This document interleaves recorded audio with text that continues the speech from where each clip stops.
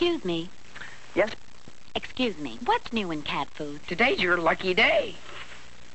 We just got in these new Puss in Boots flavor packs. The latest thing in dry cat food. Flavor packs come eight to a box, and every pack's a measured meal. So every time you eat, you get everything you need, all your vitamins. It's a complete diet in just the right amount. Very convenient. But why do they call them flavor packs? Each meal is sealed.